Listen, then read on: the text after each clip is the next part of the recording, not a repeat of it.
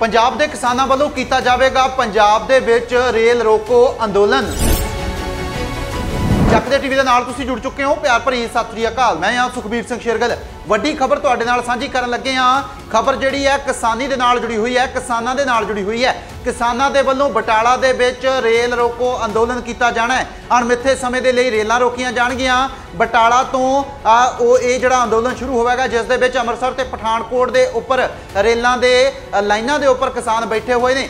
ਵੱਖ-ਵੱਖ ਤਰੀਕੇ ਦੀਆਂ ਜਿਹੜੀਆਂ ਕਿਸਾਨੀ ਮੰਗਾਂ ਨੇ, ਹੱਕੀ ਮੰਗਾਂ ਨੇ, ਉਹਨਾਂ ਨੂੰ ਪੂਰਾ ਕਰਨ ਦੀ ਮੰਗ ਜਿਹੜੀ ਹੈ ਕਿਸਾਨਾਂ ਦੇ ਵੱਲੋਂ ਰੱਖੀ ਜਾ ਰਹੀ ਹੈ। ਸਰਕਾਰ ਦੇ ਵੱਲੋਂ ਐਕਵਾਇਰ ਕੀਤੀ ਗਈ ਜ਼ਮੀਨ ਜਿਹੜੀ ਹੈ, ਉਸ ਦੇ ਮੁਆਵਜ਼ੇ ਦਿੱਤੇ ਜਾਣ।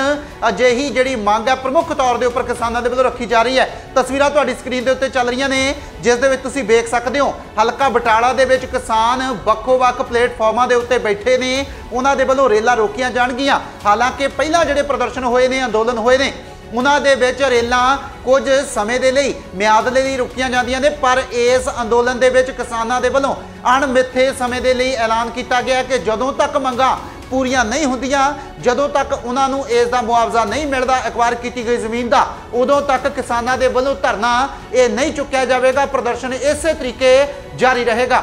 ਵੱਡੇ ਪੱਧਰ ਦੇ ਉੱਪਰ ਕਿਸਾਨਾਂ ਦੇ ਵੱਲੋਂ ਪਲੇਟਫਾਰਮਾਂ ਦੇ ਉੱਤੇ ਬੈਠ ਕੇ ਰੇਲ ਦੀਆਂ ਗੱਡੀਆਂ ਜਿਹੜੀਆਂ ਨੇ, ਉਹ ਰੋਕੀਆਂ ਗਈਆਂ ਨੇ। ਰੇਲ ਗੱਡੀਆਂ ਨੂੰ ਰੋਕ ਕੇ ਉਹਨਾਂ ਦੇ ਵੱਲੋਂ ਆ ਰੇਲ ਰੋਕੋ ਅੰਦੋਲਨ ਜਿਹੜਾ ਉਸ ਨੂੰ ਅੰਜਾਮ ਦਿੱਤਾ ਜਾ ਰਿਹਾ ਹੈ। ਸੋ ਤਸਵੀਰਾਂ ਤੁਹਾਡੀ ਸਕਰੀਨ ਦੇ ਉੱਤੇ ਨੇ। ਕਿਸਾਨਾਂ ਦੇ ਵੱਲੋਂ ਆਪਣੀਆਂ ਹੱਕੀ ਮੰਗਾਂ ਨੂੰ ਮਨਵਾਉਣ ਦੀ ਕੋਸ਼ਿਸ਼ ਕੀਤੀ ਜਾ ਰਹੀ ਹੈ। ਸਰਕਾਰ ਦੇ ਵੱਲੋਂ ਇਸ ਨੂੰ ਲਾ ਲਾ ਕੇ ਸਿੱਟਿਆ ਜਾ ਰਿਹਾ ਅਜਿਹੇ ਕਿਸਾਨਾਂ ਦੇ ਵੱਲੋਂ ਦੋਸ਼ ਲਗਾਏ ਜਾ ਰਹੇ ਨੇ।